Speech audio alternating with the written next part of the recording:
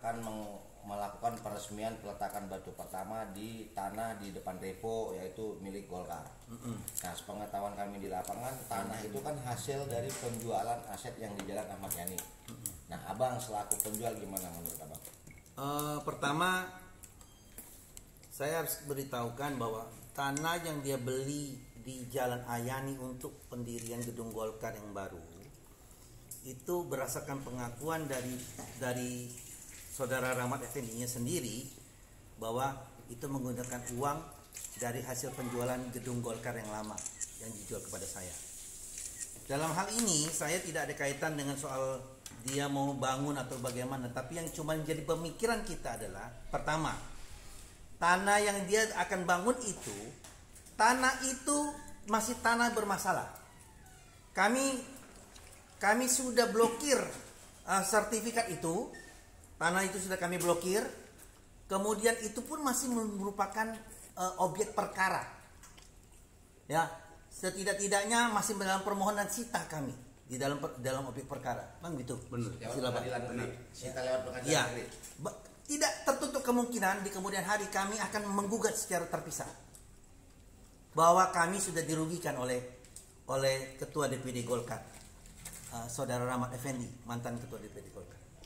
Maaf, maaf, Bang. Hmm. Tadi Abang bilang blokir. Blokir itu dari dari sisi uk- uk- uk- payung hukumnya apa tuh Bang maksudnya dimaksud Ah, blokir itu? Bang? Kita blokir dulu sementara supaya tidak terjadi peralihan, tidak ada pergerakan sama sekali di di atas tanah itu. Jalan Ahmad Yani atau bahkan di samping Repo. Sampai Iya, Repo. termasuk, termasuk. Termasuk. Ya. Oke. Termasuk. Ya, termasuk. Oleh karena itu kami keberatan dengan adanya rencana pendirian gedung ataupun peletakan batu pertama apa pun namanya.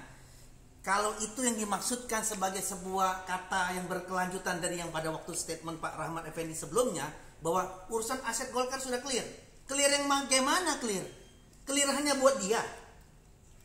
Buat dia clear pertanggungjawaban atau kepada kepada kepada DPP DPP Golkar mungkin clear. Tapi dia meninggalkan masalah buat semua orang, meninggalkan masalah buat kader, meninggalkan masalah buat saya pemilik gedung. Tidak ada yang clear. Tidak ada yang clear. Yang clear hanya tanah itu betul. Tapi tanah itu kalau saya permasalahkan juga tidak menjadi tidak clear. Karena hasil penjualan dari Karena itu menggunakan hasil penjualan daripada gedung itu. Ya kan? Kita berharap selama 16 tahun sudah berjalan, kalau dia mempunyai itikat yang baik, dia tentu sudah bisa membereskan ini. Ya, kita kita kesampingkanlah ya eh, apa soal kemampuan, soal pertimbangan ekonomi, soal apa pun itu pertimbangan strategis bukan itu. Kalau dia punya itikat yang baik, tentu dia sudah menyelesaikan dengan cara mencicil ke atau tidak mempermasalahkan secara hukum.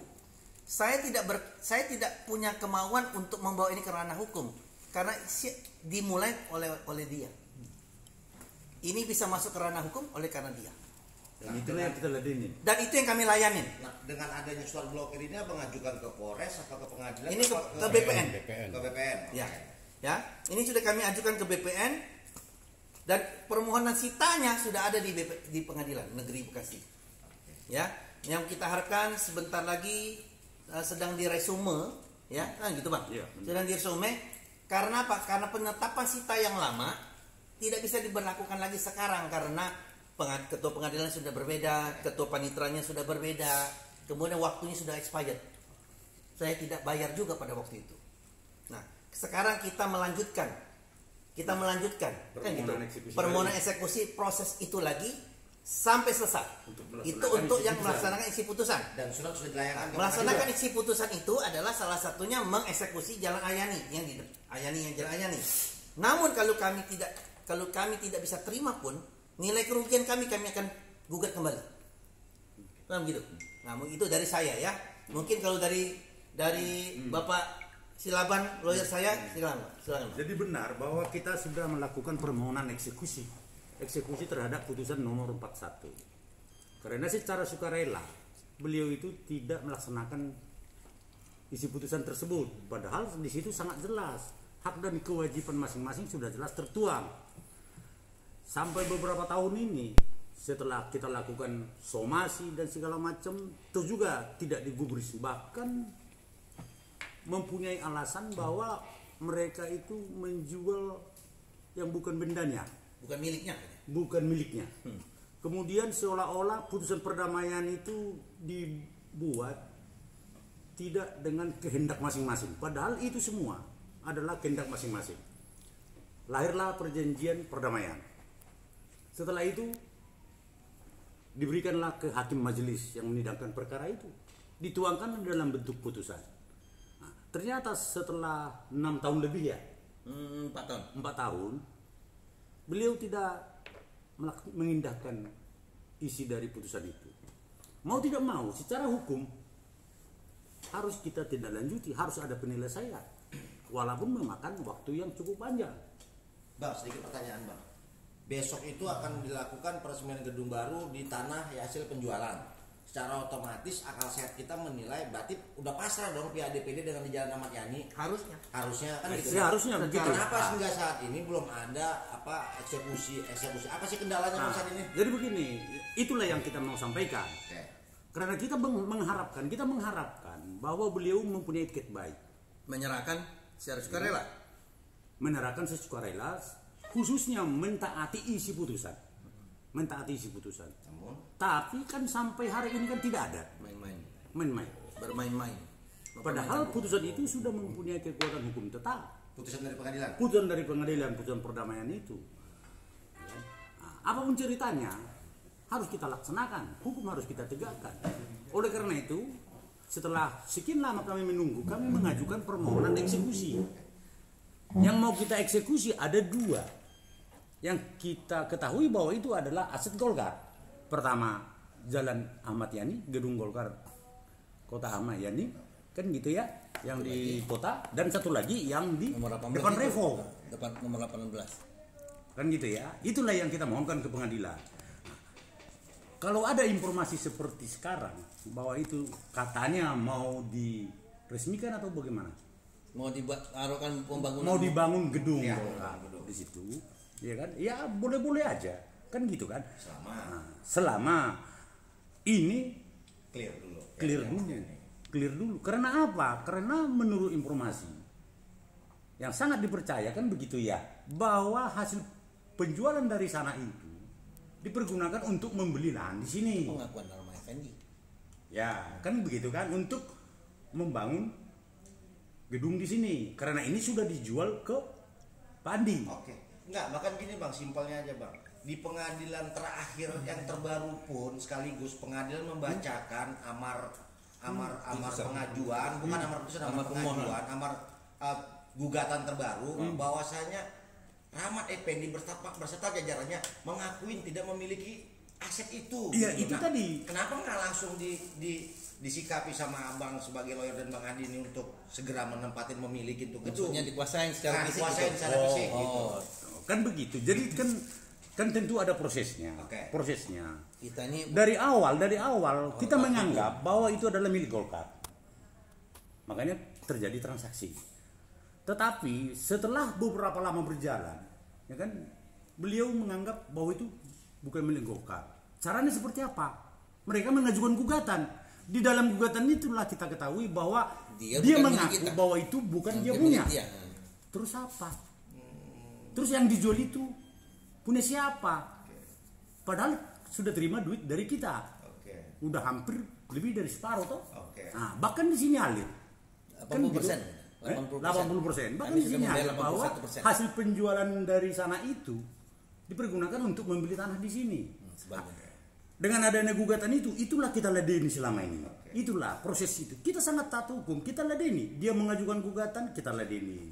Lahir putusan, dia belum belum menerima putusannya bahwa bahwa bahwa eh, sudah terjadi putusan perdamaian, dia masih banding. Terus dia masih melakukan perlawanan. Sekarang terakhir mengajukan gugatan baru dengan dasar perbuatan melawan hukum. Perbuatan melawan hukum mana dari pihak kita? Kami tidak melakukan perbuatan melawan hukum. Dia kok yang menjual Justru mengaku dia yang melakukan perbuatan melawan hukum. Dia yang menjual, dia yang menerima uang, Iya. dia juga sekarang yang menggugat dan kemudian kemudian menga- me- menyangkali pula. dan yang sama satu dan sama-sama sepakat dan sama-sama sepakat bahwa oke kita batalkan perjanjian SIM boleh boleh aja Bang. tetapi ada konsekuensi Oke. lahirlah putusan perdamaian Oke, ini bang lagi bang. Kala itu sebelum jauh pemekaran, gedung itu dimiliki dua, Ya, kota dan kabupaten. betul. hingga saat ini ada nggak mempersulit, memperkeruh, mem- mem- menghambat langkah abang untuk kabupaten wilayah kabupaten bang? Eh, dari pihak Golkar Kabupaten sendiri eh, mereka tidak pernah Usil. tidak pernah usil, tidak pernah masalah dan tidak pernah mempermasalahkan. Sip. Hanya beberapa kali ya pertemuan sebelum kami bertemu bersama itu Ibu Neneng selaku ketua DPD Golkar Kabupaten pernah secara pribadi menelpon saya, menelpon saya melalui Sonaji sekretaris Golkar Kabupaten bahwa dia bilang apa pun yang dilakukan oleh kota ini katanya bukan tidak mela- tidak merepresentasikan sikap kami kok katanya. Mohon maaf, saya tidak enak sama Pak Andi, saya juga nggak enak sama Pak Wali. Tapi yang sebenarnya katanya kami inginkan gedung Golkar ini segera selesai dan dibayar, kemudian saya bisa nerima uang untuk bikin gedung. Sisa kekurangan. Sisa kekurangan, sisa kekurangan saya hanya 19%.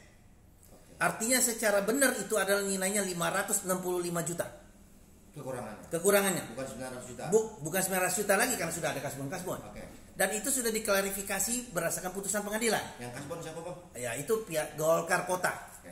Oke. Jadi saya hanya minta apa yang menjadi hak saya. Saya tidak ada kaitan kalau itu menjadi terhambat musdahnya itu bukan kaitan sama saya. Intinya itu adalah karena perbuatan dia sendiri. Ini kan? ini murni persoalan hukum. Ini perlu persoalan hukum. Persoalan hukumnya muncul karena ada gugatan dari mereka. Kita ladenin, lahirlah putusan. Nah, di dalam putusan itu kan pihak Golkar mempunyai kewajiban terhadap Pak Andi. Tertuang semua. Jika tidak dipenuhi itu, ada sanksinya. Ada sanksinya. Tertuang di situ. Tertuang Sampai hari ini tidak pernah dilaksanakan dengan baik. 150 M lebih.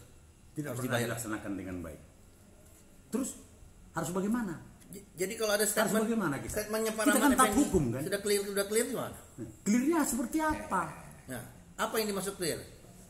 kan gini, saya juga nggak paham clearnya seperti apa Ya kan hanya sebatas hanya memberikan janji-janji mengutus orang lain mengutus orang lain kan gitu kan Iya. tapi kan tidak ada kata sepakat yang harus kita penuhi yang kita ingat bahwa ada loh salah satu bentuk penyelesaian seperti ini tidak ada seperti malahan mengajukan gugatan besok-besok mungkin mungkin mengajukan gugatan lagi terus apa mau dipermainkan seperti apa hukum kita ini padahal itu sudah ingkrah sudah mempunyai kekuatan hukum tetap tinggal melaksanakan kok Ada satu hal yang saya harus tegaskan ya. Ada satu hal. 15 tahun sudah berjalan sudah berlalu. Tidak pernah ada masalah dan tidak pernah ada ri, ri- apa Riuh-riuh. dan ataupun rame-rame. Ya. Ini menjadi rame ketika dia bermain hukum lagi, mempermainkan hukum juga mempermainkan kami juga dengan menggugatan-gugatan baru ini Lewat. lewat gugatan yang baru yang tahu bulan Maret atau April 2020 ini itu membuat kami berkesimpulan bahwa orang ini orang nakal ya